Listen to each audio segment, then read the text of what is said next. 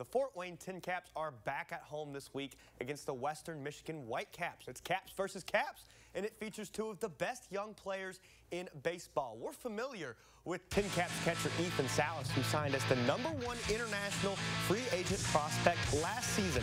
Now this year, Salas is batting 197 with two home runs and 31 RBIs. MLB.com ranks Salas as the sixth best prospect in all baseball and has labeled him as, quote, one of the best catching prospects in recent history.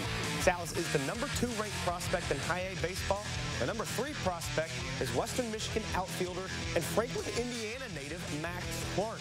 Ranked as the number 10 overall prospect in baseball, Clark joined the Whitecaps just eight days ago, but has already made a big impact. In five games for the Whitecaps, Clark has recorded at least one hit in each game, giving him a batting average of .364. He has five RBIs, including four in one game against Lansing.